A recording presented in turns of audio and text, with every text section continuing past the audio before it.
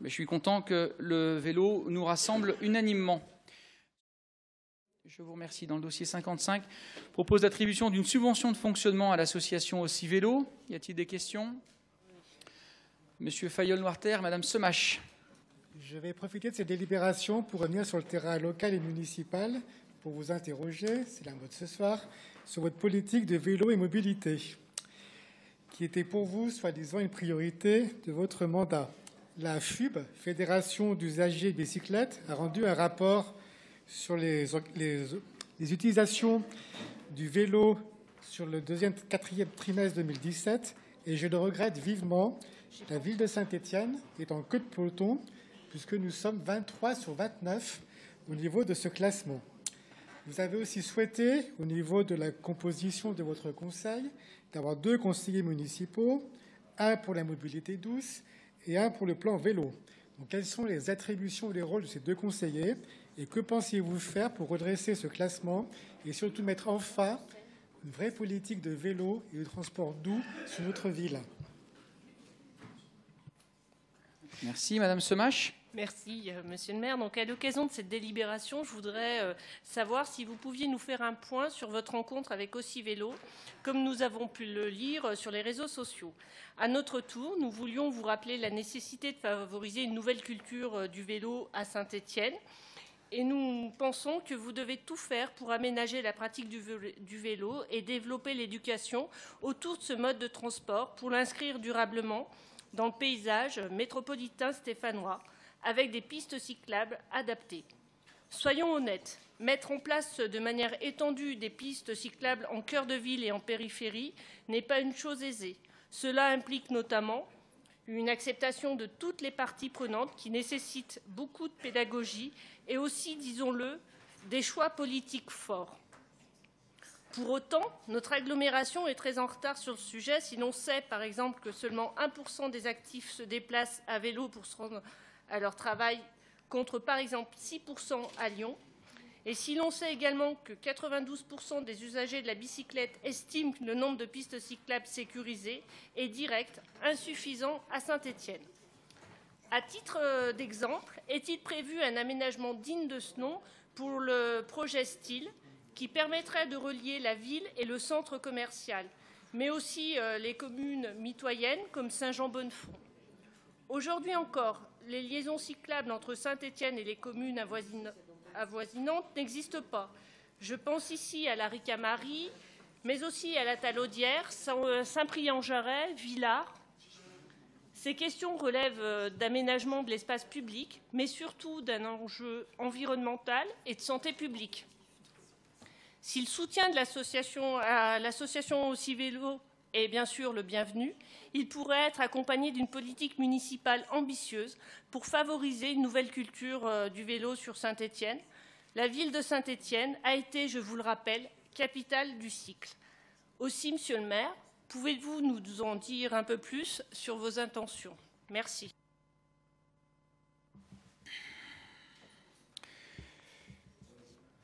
Vous savez, euh, on ne peut pas passer de pas grand-chose à tout en quatre ans. Et je voudrais euh, vous appeler à regarder ce qui s'est fait, non pas euh, seulement sur les six dernières années, mais depuis 20 ans. Pas grand-chose. Pas grand-chose parce que le sujet est compliqué et que sans doute il faut aussi euh, faire montre d'une volonté politique très forte. En ce qui nous concerne, elle est présente. Elle est présente et c'est la raison pour laquelle nous travaillons avec Aussi Vélo depuis le début de notre mandat, dans très bonne relation en bonne intelligence. Euh, Pascal Lacour, Raymond Daliro, euh, aujourd'hui euh, Charles Dallara, Éric Barguin et Raymond Daliro continuent de suivre ces questions-là. Nous avons, avec l'agglomération, pris des initiatives pour favoriser l'acquisition notamment des, vélos électriques. Ça a été succès formidable. Souvenez-vous des déclarations de mon ami vice-président Marc Petit, qui a été obligé agréablement de nous proposer en bureau le doublement de l'enveloppe que nous avions proposée, euh, puisque, euh, bien entendu, la première a été consommée en à peine une semaine. Grand succès. Dommage d'ailleurs que euh, le gouvernement actuel ait stoppé cette aide pour la relancer dans des conditions bien moins intéressantes, avec une page de 10 critères qui décourage évidemment tout candidat à l'acquisition d'un vélo électrique. Mais que les habitants de la métropole se consolent, puisque nous allons relancer, la prime au vélo électrique pour compenser les manquements du gouvernement sur ce sujet. C'est un point. Ensuite, nous avons effectivement rencontré euh, dernièrement euh, aussi vélo, comme y faisait allusion euh, Nadia Semache, et donc nous avons décidé ensemble de travailler un véritable plan vélo. Mais nous ne partons pas de rien, car aujourd'hui, quand même, sur les 60 km de pistes cyclables intramuros de notre ville, la moitié a été créée par l'équipe municipale qui est là depuis 2014. Et donc nous allons évidemment poursuivre. Je voudrais également indiquer que nous sommes sans doute la seule ville de France qui dispose d'une école municipale de cyclisme, à laquelle notre équipe municipale a donné euh, encore davantage de moyens, avec euh, la présence d'un éducateur euh, permanent depuis 2014, qui forme 3000 enfants par an et qui, dans le cadre des dispositions éducatives que nous a présentées Samy Kefi Jérôme tout à l'heure, sera accessible totalement gratuitement. Et nous avons encore d'autres projets, effectivement, y compris pour l'initiation au vélo, que nous avons euh, envisagé avec aussi vélo, mais je vais laisser euh, Charles Dallara traduire en résumé, puisqu'il faut en garder un peu pour la suite, ce que nous avons pu nous dire avec aussi vélo. Oui, merci, Monsieur le maire. Donc oui, en résumé, les discussions avec aussi Vélo euh, ont débuté dès 2014. Et je rappelle à, nos interlocuteurs en face que cette discussion euh, est inédite. Ça n'était jamais arrivé qu'on consulte une association de vélos euh, pour la mise en œuvre, par exemple, de la zone 30 hein, en centre-ville. le travail va continuer, va être développé. Euh, donc sur cette zone 30 notamment, mais euh, aussi euh, sur un certain nombre de points, de, carrefours avec des priorités vélo, sur suggestion donc de, l'association là encore.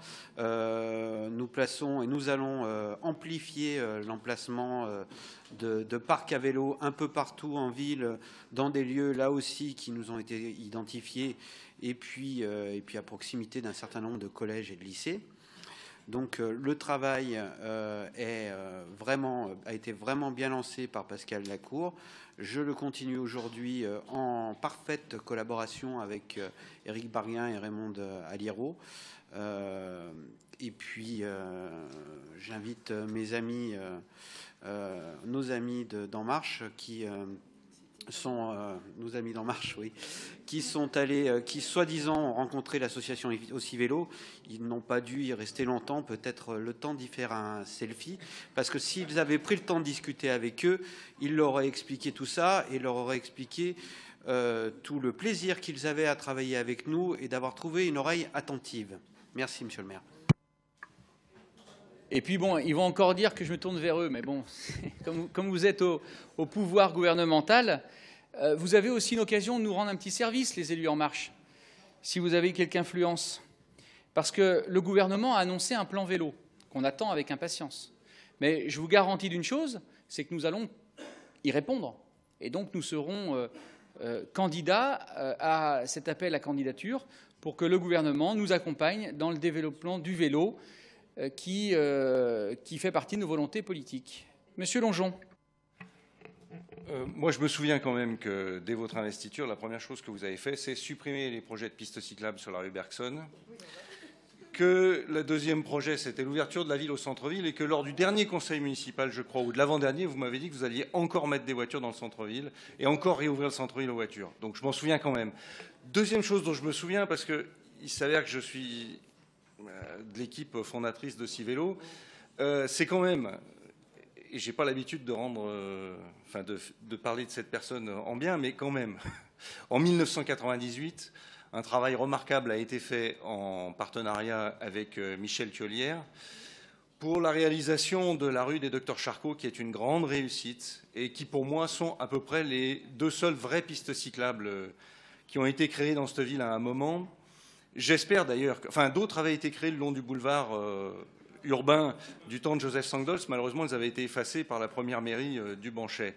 Toujours est-il que j'ai bien entendu, vous avez la volonté, vous allez le faire notamment dans le cadre du tram, c'est très bien. Moi, je vous dis banco, je me souviens toujours de Dijon, qui a été cité en exemple lors du congrès de la Fédération des usagers de la bicyclette. Il y a 20 ans, Dijon a reçu le prix du vieux clou rouillé. Donc à chaque fois, ça exige qu'un adhérent se sépare du plus vieux vélo qu'il a chez lui, mais euh, à la Fédération des usagers de la bicyclette. Mais il y a 20 ans, Dijon a reçu le prix du vieux clou rouillé, c'est-à-dire de la ville la plus nulle en termes de vélo. Euh, cette année, vous êtes quand même très très mal classé en termes euh, dans votre strate.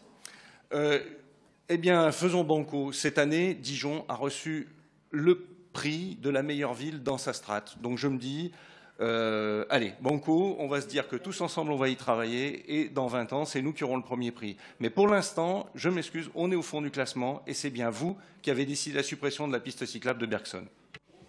Bah, je, préfère, euh, je préfère la fin de votre intervention que le début. Parce que la question de la piste cyclable, c'est très réducteur. Le projet, à notre arrivée, il était beaucoup plus vaste. Et ce n'est pas la question de la piste cyclable, c'est que ce projet était mal pensé, c'était un mauvais projet, qui aurait eu, d'ailleurs, qui n'avait absolument pas été concerté avec euh, ni euh, les résidents ni les commerçants, que nous, nous avons reçus. Et je vais vous dire, la conséquence des mauvais projets, elle peut être fatale pour le commerce de proximité. En 2008, rue de la République, il y avait 8% de vacances. En 2014, lorsque nous sommes arrivés, c'était plus de 40%. Parce qu'il y a des choix politiques qui sont pris, qui sont mauvais et qui ont pour conséquence eh bien, des impacts extrêmement négatifs, notamment sur euh, le commerce ou sur la vie résidentielle. Eh bien, je suis convaincu que ce que nous avons fait sur Bergson aurait eu exactement les mêmes conséquences. Pas une question de piste cyclable ou pas, il faut élargir un peu le sujet. Je suis d'accord avec vous pour dire que le dernier qui a fait quelque chose pour le vélo à Saint-Étienne, c'était Michel Thiolière. Son mandat s'est terminé en 2008. Il y a eu un trou entre 2008 et 2014. Nous reprenons le flambeau avec euh, cette volonté d'ouverture. D'ailleurs, moi, je, je, reçois avec plaisir votre proposition de, travailler à nos côtés sur, euh, sur cette question-là, parce que nous avons une vraie volonté. Et puis le défi, euh, finalement, que vous nous lancez, eh bien, j'ai envie de dire, euh, chiche, chiche, on va y aller. Et puis, puisque François Rebsamen est un ami, je lui demanderai quelques conseils pour me dire comment il est passé du clou rouillé au clou d'or. Je suis certain que nous avons beaucoup à apprendre de lui. Je mets donc aux voix ce dossier. Y a-t-il des oppositions Des abstentions? Mais Je suis content que le vélo nous rassemble unanimement.